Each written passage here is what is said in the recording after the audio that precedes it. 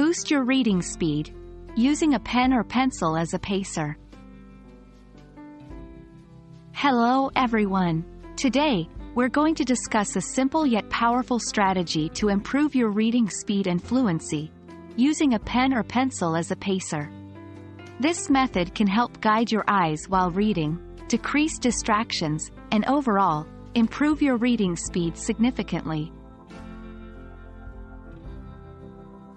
A pacer is a tool used to guide your eyes while reading.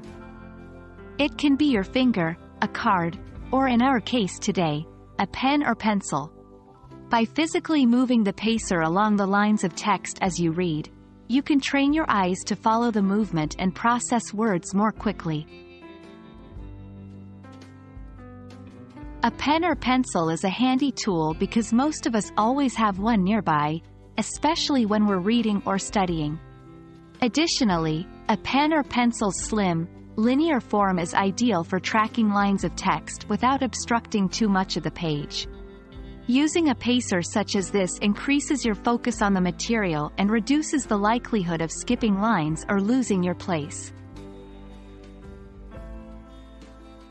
Now, let's dive into the specific techniques to effectively use a pen or pencil as a pacer. Subsection 1 Keeping the pacer moving. The key to this technique is to always keep your pacer moving along the lines as you read.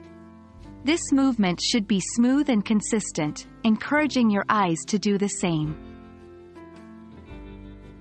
Subsection 2. Underlining text. Another technique is underlining text.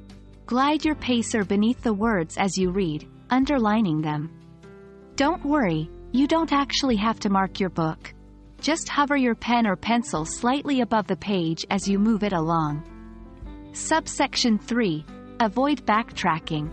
One common habit that slows down reading is backtracking, or rereading lines.